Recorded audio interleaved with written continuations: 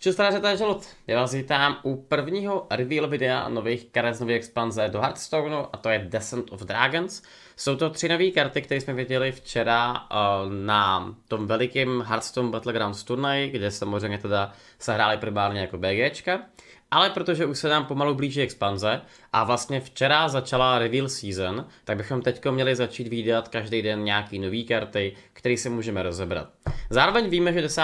prosince bude rotovat konečně ten Wildový patch pryč ze hry, takže pokud už teď jste stejně změněný jako já z Evolvu, z Enzota, z Sylvana, z Ragnarose a tak dále, tak všechny tyhle ty karty by měly 10. prosince odejít nahradí nová expanze a tím vlastně úplně zavře tenhle ten poměrně bohatý rok draka právě tohletou dračí expanzí. Jdeme se podívat na tyhle ty karty. První z nich tak je legendárka, vypadá to jako Old God nebo nějaká podobná věc a je to Shuma. Shuma je za 7 many jedna sedmička legenda, která na konci vašeho kola, tak vám naplní board jedna jedna chapadlama, což právě evokuje to, že to je Old God. A tohle je karta, která má dva pohledy. První, že to je absolutní odpad. Je to prostě minion, který má strašně špatný staty, který prostě negeneruje nic zas tak zajímavého a který vlastně nevypadá, že by mohl být nějak hratelný. Druhý pohled, a teďka ho budu mít výjimečně já, tak je to, že mi přijde, že ta karta je strašně brutální. A za, za prvý, je to karta, která vám každý kolo generuje board a ten board vám generuje uh, i v případě, že protivník na to má nějakou odpověď, protože vy ji zahrajete a už v tom kole, co ji zahrajete, tak vám vyplní board jedna jedničkama. Pokud ty jedna jedničky budou žít, tak vám samozřejmě můžou a pomoct protivníka zabít přes Bloodlust, přes jakýkoliv další jiný buff. Uh, Zephyris vám může dát třeba uh, te, teď ne Force of Nature, ale ten Nature buff, takže máte potom třeba dva dvojky z toho. Takhle bychom mohli jako pokračovat. Těch variací je tam spousta. Ta veliká síla je v tom, že pokud protivník to nebude mít jak zabít, tak budou se pořád spamovat nějaký jedna jedničky, který prostě budou pořád tlačit na protivníka a po nějaký době tak by se klidně mohlo, prostě mohlo stát to, že ta šuma ho ubije.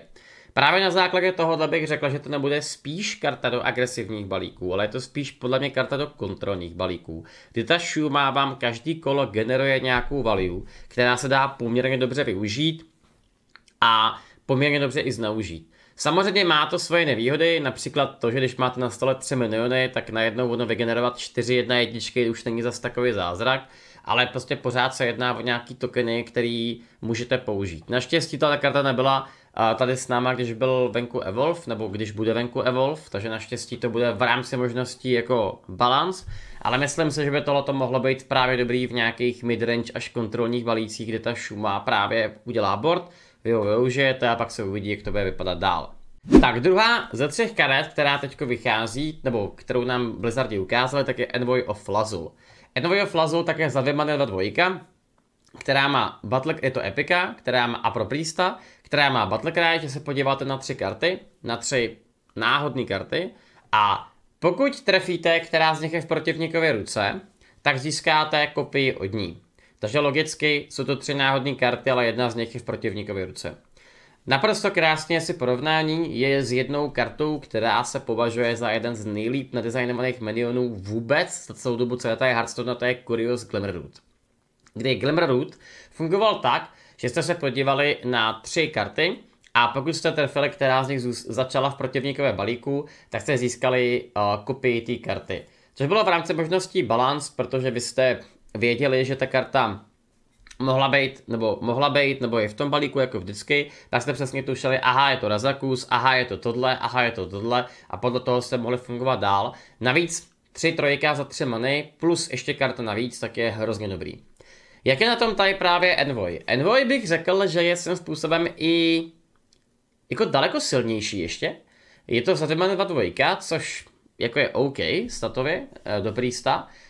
Zároveň Díky tomu, že vy se můžete vlastně podívat na jednu protivníkovou kartu a získat její kopii, tak vy tohle můžete použít buď to do late game, abyste protivníkovi ukradli třeba Galakronda nebo nějakého bejce, který ho pak můžete použít proti němu, anebo A druhá varianta tak je prostě to, že to zahrajete ve druhém kole, abyste zjistili, aha, můj protivník hraje tohle a vezmu tomu kartu. A protože typicky lidi maligenují na low-costové karty, na levní karty, tak by neměl být zase takový problém a vytáhnout mu z ruky nějakou kartu, kterou třeba vy můžete potom zahrát, třeba nějaký trojdrop.